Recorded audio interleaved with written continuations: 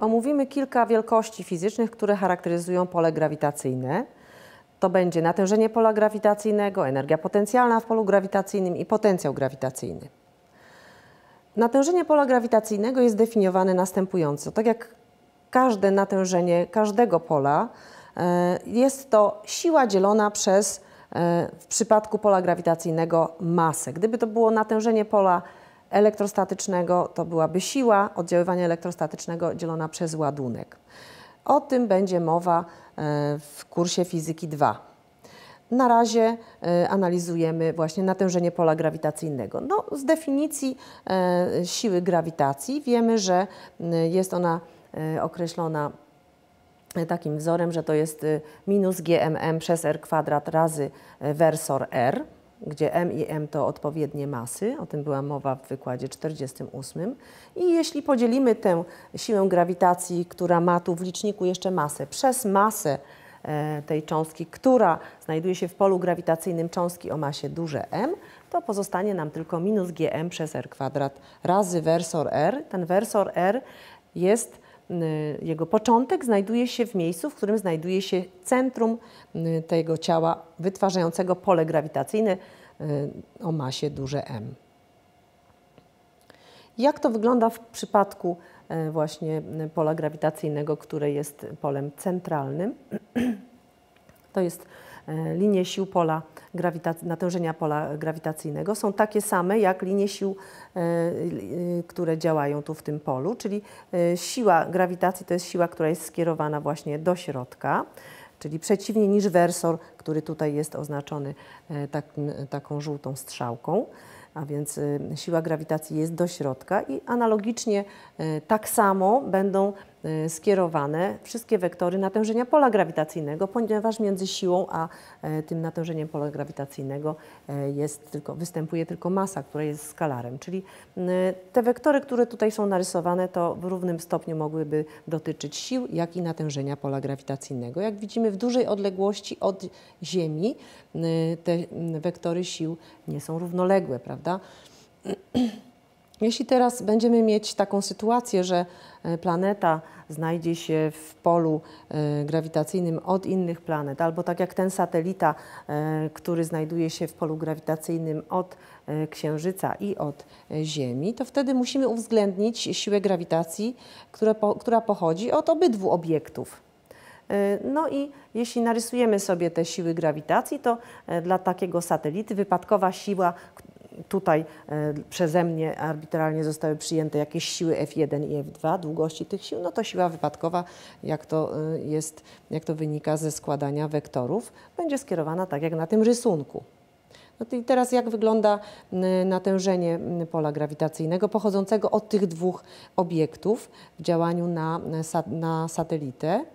Y, no, natężenie pola grawitacyjnego y, musi mieć taki sam kierunek. Gamma 1 jak F1, gamma 2 jak F2 i znów musimy je dodać wektorowo, tak jak dodawaliśmy siłę, czyli wypadkowy wektor natężenia pola grawitacyjnego musi mieć taki sam kierunek jak kierunek siły wypadkowej grawitacji, a więc y, to jest ta zasada, która obowiązuje w przypadku tych y, pól grawitacyjnych, nazywa się y, zasadą superpozycji. Musimy pododawać, jeśli mamy wiele obiektów, które wytwarzają pole grawitacyjne, to wypadkowa siła i wypadkowe natężenie pola grawitacyjnego wynika z tego, jak dodajemy je wektorowo.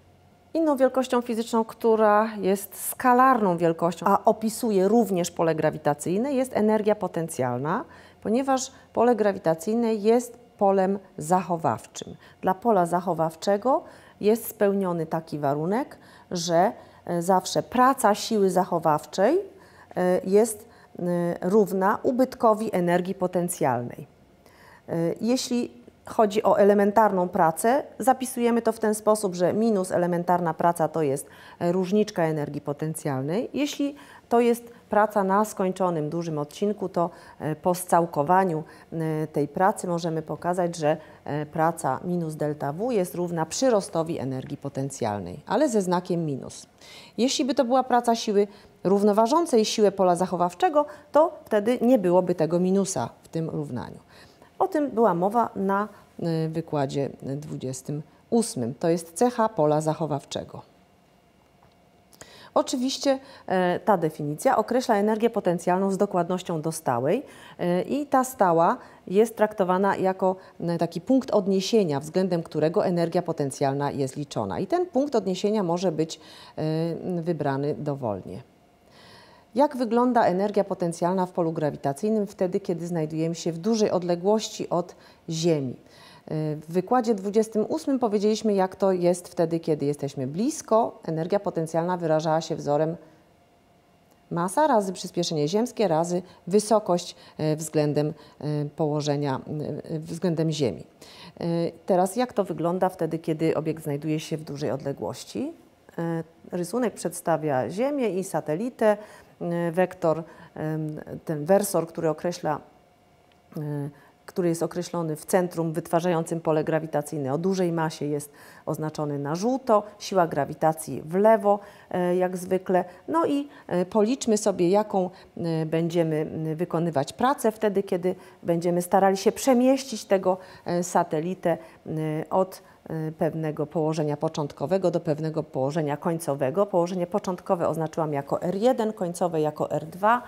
No i wiemy, że e, zgodnie z tym, co zostało przed chwilą powiedziane, e, praca będzie, e, praca tej siły zachowawczej, czyli siły pola grawitacyjnego, będzie równa minus zmianie energii potencjalnej albo zmiana energii potencjalnej minus praca. Żeby te prace policzyć, ponieważ siła grawitacji jest funkcją odległości, to musimy niestety całkować to wyrażenie i otrzymujemy taką zależność. Minus jest przepisany dalej, e, siła grawitacji co do wartości e, GMM przez R kwadrat, ale zwrot przeciwny niż wersor R. I chcemy przemieścić od R1 do R2, odsunąć od planety. Jeżeli chcemy odsunąć, to znaczy, że wersor R i dr mają ten sam zwrot. Czyli dalej otrzymujemy już bez wektorów, bez notacji wektorowej takie równanie. Oczywiście moduł wersora R jest równy 1, dlatego go tutaj już w tym równaniu skalarnym nie ma. Czyli pozostaje minus całka z minus GMM przez R kwadrat dr i ta całka jest równa minus GMM, to jest stała, wyciągamy przed znak całkowania i otrzymamy 1 nad R2 minus 1 nad R1. I teraz, e, jeśli sobie podstawimy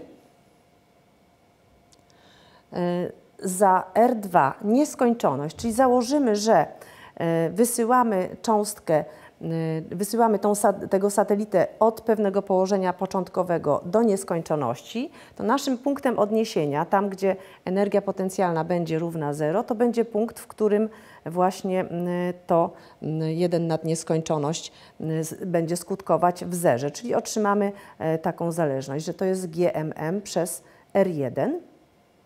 No i w związku z tym, ponieważ zmiana energii potencjalnej to jest energia potencjalna w na końcu minus energia potencjalna na początku. Energia potencjalna, przepraszam, energia potencjalna na końcu to jest zero, bo zakładamy, że e, jeśli jest nieskończoność, to 1 nad nieskończoność oczywiście będzie 0 i minus EP1, czyli minus energia potencjalna e, w punkcie tym wyjściowym to jest GMM przez R1. No i możemy ten znak przenieść na drugą stronę, otrzymamy, że energia potencjalna to jest minus GMM przez R. Mm, co się teraz stanie, jeśli wybierzemy inny punkt, w którym energia potencjalna jest zero? Na poprzednim slajdzie e, pokazaliśmy, że jeśli energia potencjalna e, w nieskończoności jest równa zero, to w dowolnym punkcie jest określona wzorem takim, że, e, cofnę na chwilę slajd, to jest minus GMM przez R. Natomiast jeśli wybierzemy inny punkt odniesienia, to ta zależność może inaczej wyglądać. E, i zobaczmy, jak to będzie. Czyli wybierzmy taką sytuację, do której właśnie jesteśmy przyzwyczajeni, czyli e, do taką sytuację, kiedy zakładamy, że na powierzchni Ziemi energia potencjalna jest równa zero. Jak wtedy wygląda zmiana energii potencjalnej? Przeprowadzamy całkowanie tak, jak to robiliśmy wcześniej. Nic się tutaj nie zmienia, ale teraz e, naszym punktem odniesienia nie jest punkt, w którym R2 jest równe nieskończoność, tylko R1 jest równe e, promieniowi Ziemi. czyli za R1 podstawiamy R. E, no i jeśli się uporamy z tymi ułamkami, to otrzymamy to, że to jest minus GMM razy R minus R2 przez R2 razy R, gdzie R2 to jest właśnie to położenie końcowe o, względem położenia początkowego R duże. No i teraz, jeśli y, weźmiemy pod uwagę fakt, że y, R2 to jest bardzo mała odległość w porównaniu do R, czyli jeśli założymy, że analizujemy sytuację, kiedy ciało jest tuż nad powierzchnią Ziemi, to wtedy to R2 możemy e, pominąć w stosunku do R, no i wtedy R2 e, jest, bo R, przepraszam, R minus R2 to jest duże R plus niewielka odległość od powierzchni Ziemi. E, i R2 analogicznie tutaj to jest R plus niewielka odległość od powierzchni Ziemi. Załóżmy, że to jest H. To wtedy to równanie uprości się do następującego równania. Czyli jeśli założymy, że R2 to jest R plus H i podstawimy sobie do tego równania, to otrzymamy y, taką zależność, że to jest m razy gm przez r kwadrat razy h, no ale y, jeśli wrócimy do wykładu 47, to y, znajdziemy tam zależność między tymi stałymi i przyspieszeniem ziemskim, to jest po prostu przyspieszenie ziemskie gm przez r kwadrat, czyli to jest mgh. A więc jedno i drugie wyrażenie E, na energię potencjalną i e, to minus GMM przez R, które było na poprzednim slajdzie i odnosiło się do, sytuacji, kiedy e, energia potencjalna jest równa zero. W nieskończoności, w nieskończenej odleg dużej odległości między planetą i satelitą oraz to wyrażenie, które określa energię potencjalną przy założeniu, że zero jest na powierzchni Ziemi, zostały wyprowadzone w taki sam sposób, się, wynik różni się tylko tym, e, że dla, tylko dlatego, że zrobiliśmy inne założenie odnieśnie, odnośnie punktu tego referencyjnego. I teraz, e, żeby tutaj e, zrozumieć, że jedno rozwiązanie jest tylko przybliżeniem drugiego rozwiązania, to popatrzmy, jak to wygląda na wykresie. Na wykresie jest przedstawiona zależność energii potencjalnej od odległości, wtedy kiedy mamy do czynienia e, z zależnością taką e, dla dużych odległości. Ta energia potencjalna wyraża się wzorem minus GMM przez R, czyli to jest taki wykres, który przedstawia e, tutaj ten rysunek. Dla R równego promieniowi Ziemi ta wartość jest równa minus GMM przez duże R.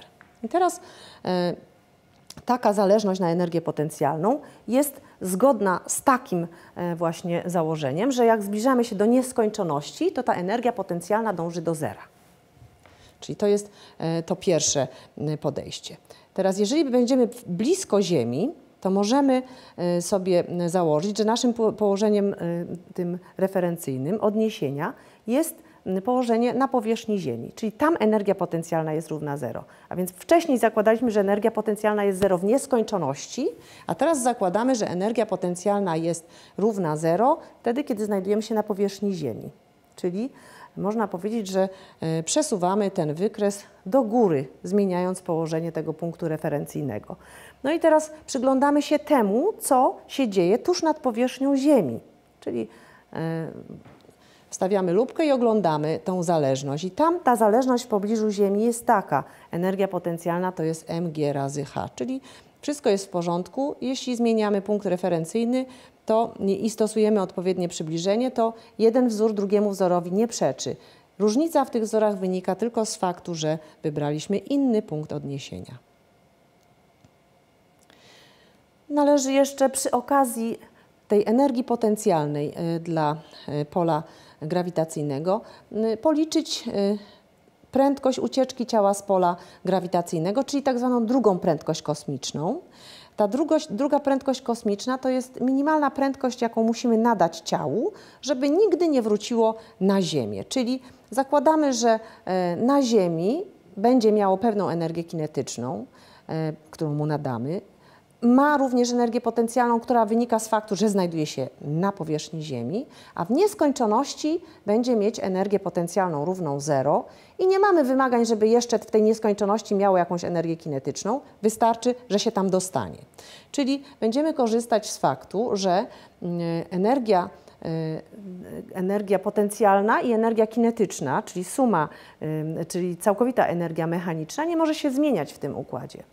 A więc energia kinetyczna na powierzchni Ziemi, w której prędkością będzie właśnie ta prędkość definiowana jako druga prędkość kosmiczna, oraz energia potencjalna która wynika z faktu, że satelita e, czy jakieś ciało, które chcemy w ten kosmos wysłać, znajduje się na powierzchni Ziemi. To jest właśnie energia potencjalna z odległością równą r duże i suma tych dwóch energii musi być równa zero, Y, y, dlatego że w nieskończoności zakładamy, że ta energia jest zero, a obowiązuje nas zasada zachowania energii mechanicznej. I po prostym przekształceniu otrzymujemy wzór na drugą prędkość kosmiczną i ta druga prędkość kosmiczna jest większa oczywiście od pierwszej, która e, ma wartość 8,1 km na sekundę, tutaj jest 11,2 km na sekundę. Jak mówimy o energii potencjalnej, to należy powiedzieć jeszcze o potencjale grawitacyjnym. Potencjał grawitacyjny to jest energia potencjalna dzielona przez masę. Tak się definiuje tę wielkość. A więc dla pola grawitacyjnego definiują się, definiuje się wielkości następujące. Wielkości wektorowe siła oraz natężenie pola grawitacyjnego i wielkości skalarne, energia potencjalna i potencjał pola grawitacyjnego. Pamiętajmy, że jeśli jest dużo obiektów, to wypadkowa siła i wypadkowe natężenie dodajemy, otrzymujemy dodając y, wektory pochodzące od poszczególnych obiektów. Natomiast jeśli chodzi o energię potencjalną i potencjał, dodajemy liczby, bo to są liczby skalary. Dziękuję bardzo za uwagę.